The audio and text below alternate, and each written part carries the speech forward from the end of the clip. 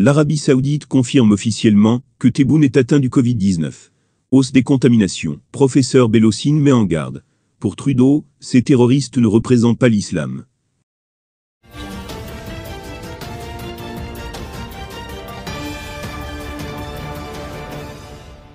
L'Arabie Saoudite confirme officiellement que Tebboune est atteint du Covid-19.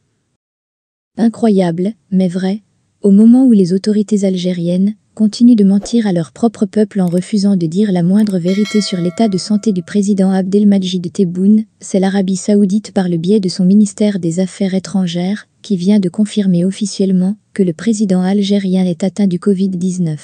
Oui, ce n'est ni le gouvernement algérien, ni la présidence de la République, ni encore moins une autre instance officielle algérienne, qui nous apprend la vérité sur la maladie dont souffre le président Abdelmajid Tebboune. C'est l'Arabie saoudite à travers sa diplomatie qui est venue à la rescousse de l'opinion publique algérienne pour lui révéler ce que toutes les institutions de son propre État sont en train de lui cacher, l'infection à la Covid-19 de Tebboune, le président de la République.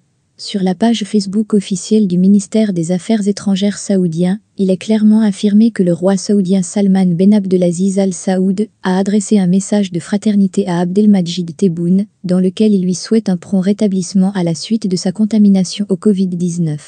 Le roi saoudien affirme clairement dans son télégramme diplomatique de bienveillance qu'il avait appris la contamination du président Abdelmajid Tebboune au Covid-19.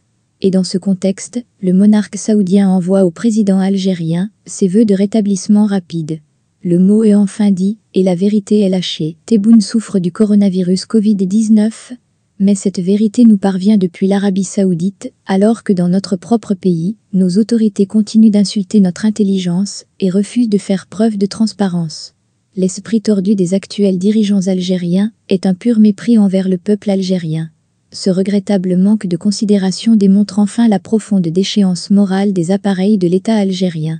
Des appareils qui préfèrent la manipulation des masses au devoir de vérité, le mensonge officiel à la transparence morale.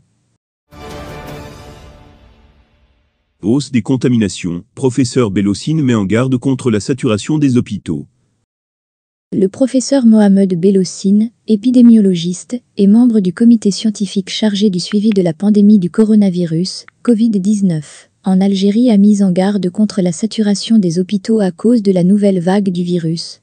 Dans un entretien accordé aux médias en ligne TSA, le professeur Mohamed Bellocine, épidémiologiste et membre du comité scientifique, s'est exprimé au sujet de la hausse des contaminations et de l'éventuel reconfinement. À l'instar de beaucoup d'autres pays, notre société a probablement pensé que l'épidémie était derrière nous. Or, je n'ai cessé de rappeler que, tant qu'il y a un cas nouveau, c'est que le virus circule encore dans la communauté. Le virus est en train de revenir en force, probablement pour des raisons multiples, a-t-il indiqué. En effet, pour le professeur Bellocine, les raisons derrière la recrudescence des contaminations reviennent en premier lieu au relâchement quant à l'application des mesures préventives. La première, c'est le relâchement des mesures de prévention. Vous avez bien vu que peu de gens utilisent le masque dans les lieux confinés, que les gens se parlent à des distances très proches et ne respectent pas la distanciation physique, que le respect de ces mesures dans les transports est très variable, pour ne pas dire très faible. D'un autre côté, les températures ont baissé et il est probable que les conditions de transmission du virus soient plus favorables.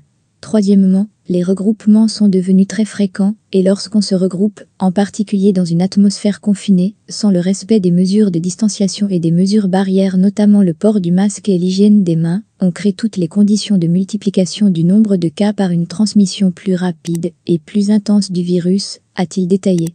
Dans ce même contexte, l'épidémiologiste a tiré la sonnette d'alarme en affirmant que les services hospitaliers risquent d'être saturés, et il ne faut pas qu'ils soient saturés, et ce, même si on prend toutes les mesures possibles, pour répondre à la demande. À cet effet, il a rappelé que la société joue un rôle individuel et collectif, dans le respect des mesures barrières.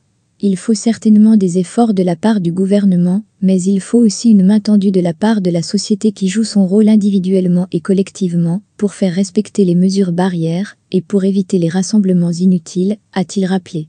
Nous sommes en pleine fête religieuse, bienvenue, mais il ne faut pas qu'elle se transforme en cauchemar de santé dans les jours qui le suivront. Il s'agit d'avoir la sagesse de ne pas assister à des regroupements trop importants de gens, de ne pas rester trop longtemps ensemble, même si on peut aller rendre visite à sa famille, et de respecter en tout temps, en tout lieu et partout les mesures barrières, en particulier le port du masque, a-t-il rajouté. S'exprimant sur un éventuel reconfinement, le professeur Bellocine a estimé que le confinement est une arme qui ralentit la diffusion du virus. Cependant, il a indiqué que le confinement a des inconvénients, notamment sur le plan économique et social, mais aussi sur la santé mentale des gens. Donc il faut espérer éviter au maximum le confinement généralisé, mais effectivement, si le nombre de cas devient trop important et que le système hospitalier ne peut plus répondre, il faudra probablement revenir au confinement pour aplatir la courbe, c'est-à-dire pour réduire la circulation du virus dans la communauté. Si les gens ne respectent pas les mesures barrières, le gouvernement sera appelé peut-être à prendre cette mesure, a-t-il conclu. L'attentat de Nice, pour Trudeau, ces terroristes ne représentent pas l'islam.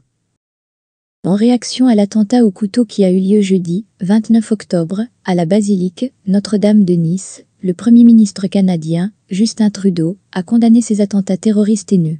En marge d'une réunion virtuelle avec le président du Conseil européen, Charles Michel, le Premier ministre canadien, Justin Trudeau, a condamné ces attentats terroristes haineux et a estimé que rien ne justifie cette violence. Cependant, il n'a pas manqué de rappeler que ces criminels, ces terroristes, ces meurtriers, ne représentent d'aucune façon l'islam ou les gens musulmans. Le terrorisme est un fléau qui doit être dénoncé et combattu. Nous condamnons vigoureusement ce geste lâche, a indiqué sur Twitter M. Trudeau. Rappelons qu'un individu a pénétré au sein de la basilique ce jeudi, vers 8h30 du matin, et a tué trois personnes au couteau. Les premiers éléments de l'enquête indiquent que ce dernier est âgé de 21 ans et a des origines tunisiennes. Abonnez-vous à notre chaîne.